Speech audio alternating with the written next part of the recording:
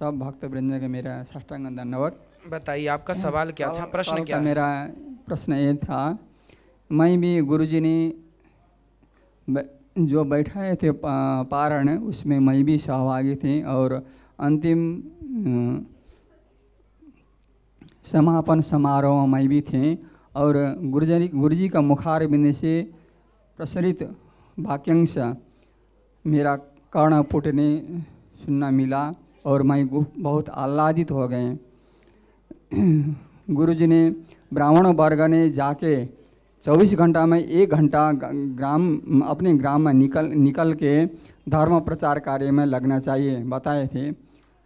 पर मेरा यह संदेह, मेरा एक तुच्छ बुद्धि से क्या समझा तो अभी तक कानून के आधार में लिंग अभेद, जाति अभेद होए।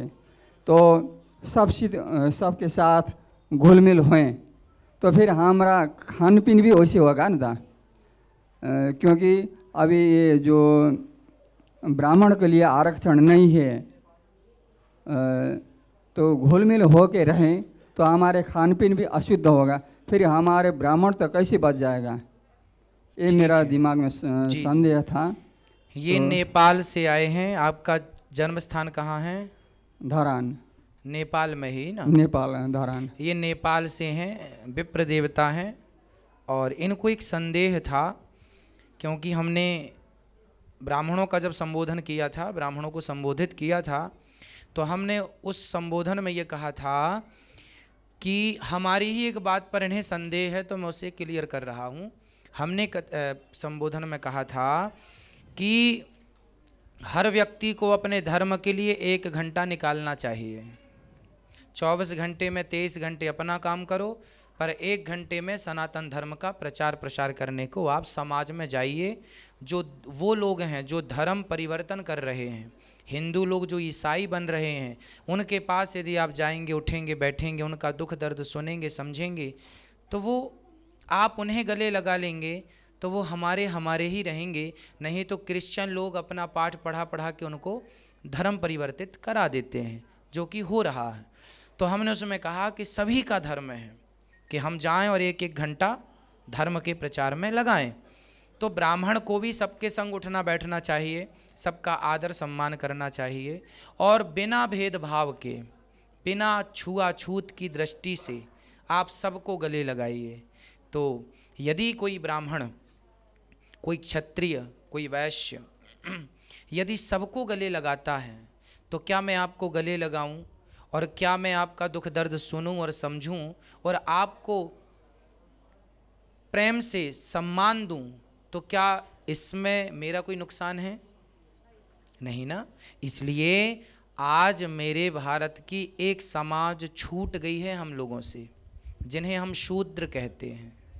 क्यों?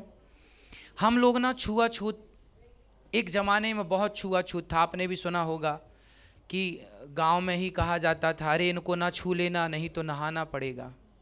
क्यों?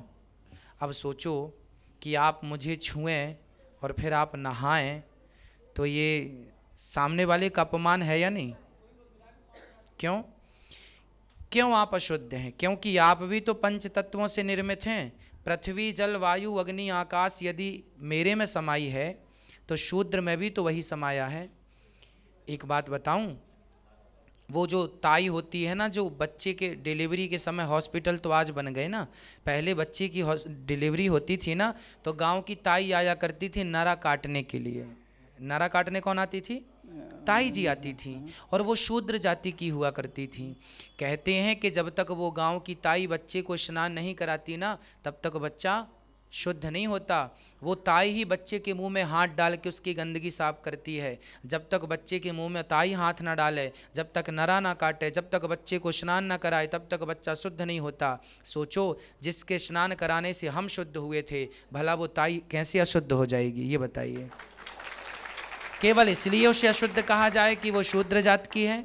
यदि शूद्र जात की है, यदि वो अशुद्ध है तो फिर राम जी शबरी माता के घर क्यों गए? क्यों शबरी माता के बेर खाए? इसके लिए हम आपसे ये निवेदन करेंगे कि छुआछूत की कोई भावना हमारे भीतर ना हो। किसी भी प्रकार की भावनाएँ ना हो। एक ज़माने में ये बड़ी भावनाएँ थीं छुआछूत की। हम ये नहीं कहते कि आप किसी के संग बैठ के भोजन कर लीजिए। हम ये कहते हैं कि भाई भोजन तो अपने ढंग से करो, है ना? भाई हम आहार शुद्ध रखेंगे तो बुद्धि शुद्ध रहेगी, है ना? लेकिन लेकिन हम सबको प्यार करें, हम सबको अपना माने और शराब पीने वाला भाई भी यदि हमने उसके पास बैठकर कह दिया, क्यों रे? शराब पीने से तुझे क्या मिल रहा है? यदि हमने ज्ञान की दृष्टि से उसका मार्गदर्शन कर दिया और शराब के रास्ते से निकाल कर उसे आध्यात्म जगत से जोड़ दिया तो क्या नुकसान कर दिया हमने? किसी मांसाहारी के पास मैं जाकर बैठ जाऊँ और मांसाहारी के पास जाकर बैठकर कह दूँ, क्यों भैया, तुम्हें क्या मिल रहा है मांस खाने से? क्या किसी के शरीर को मार कर किसी की हत्या करके, क्या अपना पेट भरना क्या ये उचित है? यदि ये ज्ञान उनको दिया जाए और वो आपके वजह से मांस छोड़ के आ जाए तो क्या ये देश की सेवा नहीं है? क्या ये राष्ट्र की सेवा नहीं है? मैं ब्राह्मण हूँ तो क्या मैं इसलिए उन लोगों के पास नहीं बैठता? जो नरा काटने वाली ताई है या जो मोची भाई है जो जूता सिलता है, मैं उसके पास इसलिए क्या नहीं बैठता कि मैं ब्राह्मण हूँ? ना जी, वो मोची है, वो अपनी, वो चोरी थोड़ी करता है, वो भले मोची है, जूता सिलता है, अपनी मेहनत की कमा कर खाता है। हम भी, हमारा धर्म है, हम भले ब्राह्मण हैं, पर हम मोची के पास जाएँ और उसका भी हाल चाल पूछें, भाई तुम कैसे हो? कितना कमा लेते हो? पेट भर जाता है, कोई कष्ट तो नहीं है। यदि हमने उसका दुख दर्द पूछ लिया और उसके संग दो मिनट बैठ गए और भगवत चर्चा उसके संग कर दी कि देखो, तुम जूता सिलते रहो, पर भगवान का चिंतन करते रहो, क्योंकि सबका पालनहार वही है। यदि तुमने उनको जूता के कार्य को करते हुए ईश्वर से जोड़ दिया तो क्या आपने कोई पाप कर दिया? नहीं जी, सबके पास जाइए, सबके पास बैठिए और शास्त्रों का ज्ञान सबको सुनाइए, क्योंकि सब सुनेंगे तो हमारा धर्म मज़बूत होगा और जो छुआछूत की भावना है वो ख़त्म हो जाएगी। और देखो, ये छुआछूत की भावना बहुत बड़ा नुकसान करती है है ना? मैं, आपकी क्या सोच है भगवान जाने, मैं आपके मन की नहीं जानता। मैं अपनी बात करता हूँ कि मुझे छुआछूत बिल्कुल अच्छा नहीं लगता। मैं तो सबका सम्मान करता हूँ सबका आदर करता हूँ सबको गले लगाता हूँ। और मेरे गले लगाने से चैतन्य महाप्रभु जी का नाम सबने सुना होगा। चैतन्य महाप्रभु शराबियों के ठेके में जाते थे और शराबियों के ठेके में जाकर जो शराबी लोग होते थे ना उनके पाँव पकड़ के कहते थे भैया एक बार हरे कृष्ण कह दो। तो शराबी लोग कुल्ला मुँह में शराब भरते हम्म, और थूक देते थे चैतन्य महाप्रभु के मुँह में। चैतन्य महाप्रभु साक्षात भगवान के अवतार हैं। चैतन्य महाप्रभु के मुँह में थूक देते थे। शराबी लोग। तो चैतन्य महाप्रभु के शिष्य कहते थे, गुरुजी, आप क्या कर रहे हैं? ये शराबियों के बीच में जाके आप क्यों बैठते हैं? ये देखो, आपके मुँह में शराब थूक देते हैं। चैतन्य महाप्रभु ने कहा, तुम नहीं जानते, ये शराबी लोग हैं, ये नरक जाएँगे। मैं चाहता हूँ कि इनके मुँह से एक बार हरे कृष्ण निकल जाए तो ये भगवान के धाम के जाने के अधिकारी बन जाएँगे। यदि मेरे यदि मेरे यदि मेरे चरण पकड़ने से इनकी सदगति हो जाती है तो मैं इनके चरण भी पकड़ने को तैयार हूँ। ये भक्त का भाव है। इसलिए इस भावना को लेकर चलना है ये महापुरुषों की भावना है।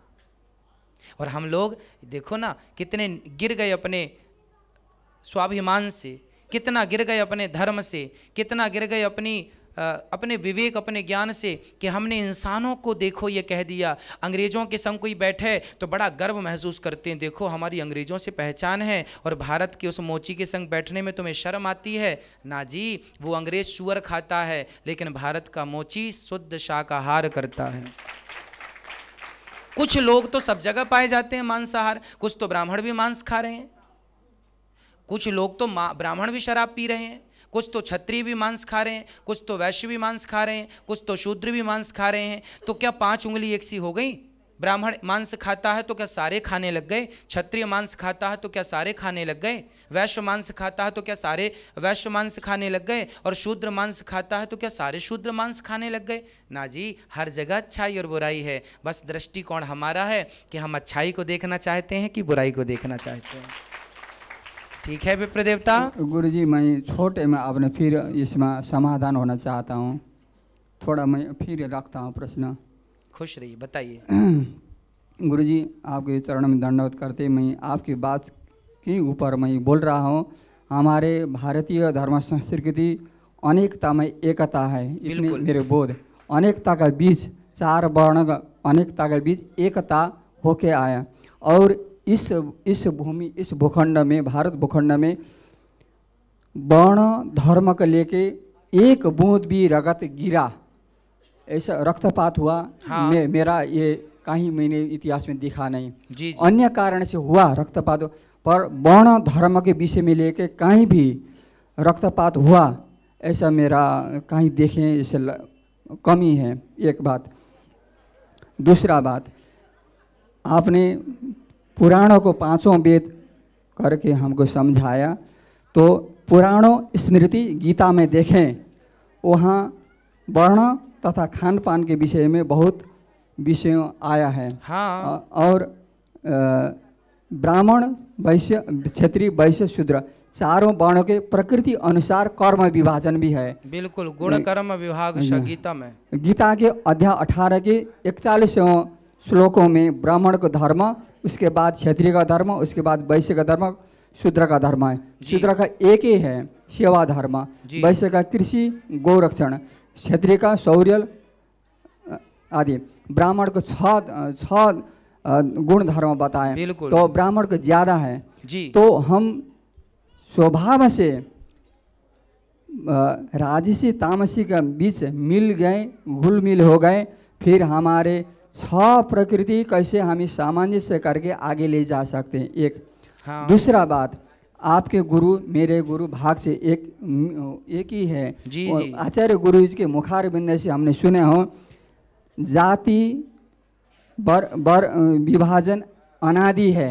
हाँ। हर हर पदार्थ में जाति हो सकता तो मनुष्य में भी हो सकता। उनका वाक्य है गुरु का वाक्य है मेरा। वाक्य नहीं है। जी, जी, जी। गुरु का वाक्य है। हर पशु हर जानवर हर पंछी हर पेड़ पौड़े वनस्पति में एक जाति का अनेक प्रजाति हो सकता। तो मनुष्य में भी हो सकता ये गुरु का वाक्य है जी जी मैंने भूले नहीं तो ये गुरु का वाक्य और शास्त्र का वाक्य ले तो ब्राह्मण अवश्य है हाँ ब्राह्मण है नहीं है। चारों हैं चारों हैं है। ब्राह्मण भगवान के मुख से है हाँ। क्षत्रिय भगवान की भुजाओं। से है वैश्य भगवान की जंघाओं से है और शूद्र भगवान के चरणों से है और चारों हैं चारों अनादि हैं खान पान के विषय में ब्राह्मण को शुचि शुद्धता का विषय में शास्त्र में बहुत बात है। वो वेद ही का आपको बात बता रहे हैं, पुराण में बहुत है। जी जी तो जी। इस अवस्था में हम चार वर्ण अभेद्य है। भेद्य नहीं है अभेद्य है। जी। हमारे समाज में राजाओं शासकों ने अभेद ही बनाए। जी जी। बाह्य शत्रु के लड़ने के लिए जी। एक वर्ण ने चारों वर्ण तैयार थे। जी। तो खंडन कभी हुआ अभी से हुआ विखंडन अभी हुआ। जी जी जी। जो संविधान बना जो कानून बना इसी ने विखंडन हुआ देखो और ऐसा है कि जाति तो पहले से थी पर जातवाद अंग्रेज़ों ने घोल दिया मुगलों ने घोल दिया हम सभी को आपस में लड़ाने के लिए। चलिए अच्छा लगा आपसे बात करके विप्र देवता चूँकि हमने आपको अभी बता दिया था ठीक है खुश रहिए प्रसन्न रहिए।